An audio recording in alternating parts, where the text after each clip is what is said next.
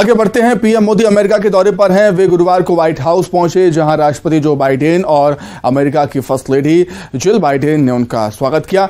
PM ने अमेरिकी राष्ट्रपति जो बाइडेन के साथ द्विपक्षीय बातचीत की, उसके बाद साझा बयान जारी किया। इसके बाद पीएम मोदी ने, पीएम मोदी के सम्मान में व्हाइट हाउस में स्टेट डिनर का आयोजन भी किया गया था, जहाँ राष्ट्रपति जो बाइडेन और पीएम मोदी ने संबोधित भी किया। और बाइडेन ने कहा कि भारत के साथ रिश्ते को और आगे ले जाना है। पीएम के साथ शानदार समय बिताया है। भारत अमेरिका के बीच संबंधों का ये नया दौर है। दोनों देशों के लोग साझेदारी को नई ताकत देते हैं। पीएम मोदी ने स्टेट डिनर के लिए जो बाइडेन को धन्यवाद दिया। पीएम मोदी ने कहा कि मैंने देखा है कि मेहमान नवाज़ अमेरिका प्रभावित होकर कई बार लोग गाना भी गाने लगते हैं। काश मुझमें भी गाने की कला होती तो मैं भी गाना सुनाता। प्रधानमंत्री मोदी भारत के पहले ऐसे प्रधानमंत्री बन गए हैं जिन्होंने दूसरी बार अमेरिकी संसद के दोनों सदनों सीनेट और हाउस ऑफ़ रिप्रेजेंटेटिव्स के संयुक्त सत्र को संबोधित किया है। इंडिया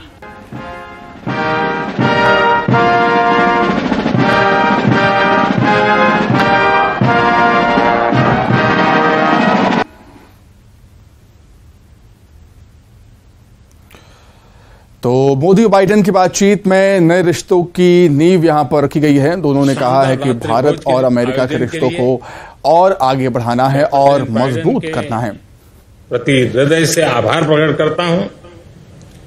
मैं डॉक्टर जील बाइडेन का विशेष रूप से आभारी हूँ कि उन्होंने अमेरिका के राष्ट्रपति जो बाइडेन और फ़र्स्ट लेडी जिल बाइडेन ने प्रधानमंत्री नरेंद्र मोदी के लिए व्हाइट हाउस में स्टेट डिनर रखा था। प्रधानमंत्री मोदी के सम्मान में आयोजित स्टेट डिनर में उद्योगपति मुकेश अंबानी और नीता अंबानी भी शामिल थी। स्टेट डिनर में आमंत्रित लोगों में टेक वर्ल्ड फ़िल्म और फ़ैशन इंडस्ट्री के साथ साथ अरबपति उद्योगपतियों के 400 से अधिक हाई प्रोफ़ाइल नाम शामिल थे। स्टेट डिनर के दौरान राष्ट्रपति बाइडेन ने कहा कि हम दोनों देशों को इन रिश्तों को आगे लेकर जाएँगे। और जिनकी ज़िम्मेदारी हमारी है। वहीं पीएम मोदी ने बाइडेन और जिल बाइडेन को धन्यवाद भी दिया। पीएम मोदी ने कहा कि उन्होंने जो भी मेरे स्वागत में किया है, उसके लिए मैं दिल से आभारी हूँ। पीएम मोदी ने कहा कि भारत के लोग हर क्षेत्र में आगे बढ़ रहे हैं। धीरे धीरे दोनों देशों के लोग एक दूसरे की भाषा, कल्चर को समझ रहे हैं, उन्हें अपना भी रहे हैं।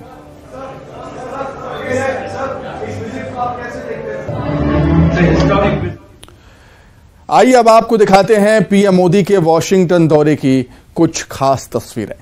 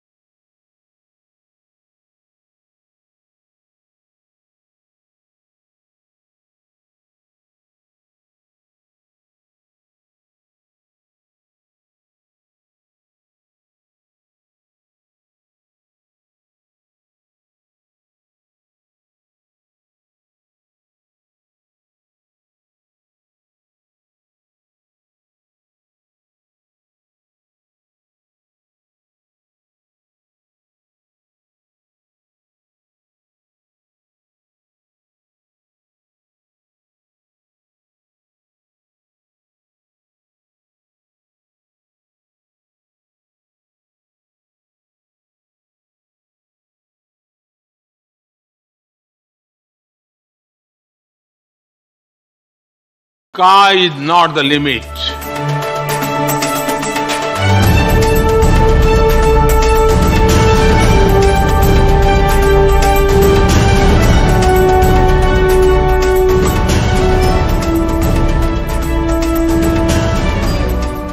Global good के लिए, वैश्विक शांति और स्थिरता के लिए, दोनों देश साथ मिलकर काम करने के लिए प्रतिबद्ध है।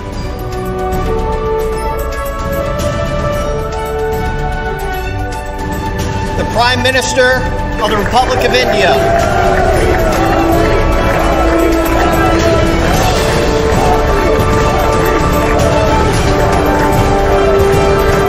In the past few years, there have been many advances in AI, artificial intelligence. At the same time, there have been even more momentous development in another AI, America and India. The scope of our cooperation is endless.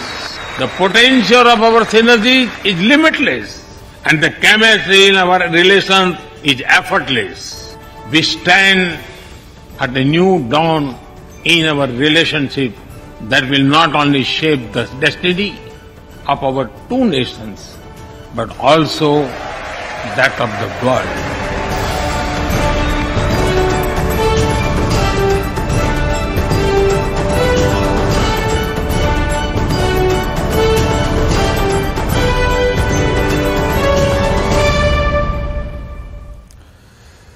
इसी के साथ ही फ़िलहाल इस bulletin में इतना ही। खबरें लगातार जारी है। नमस्कार।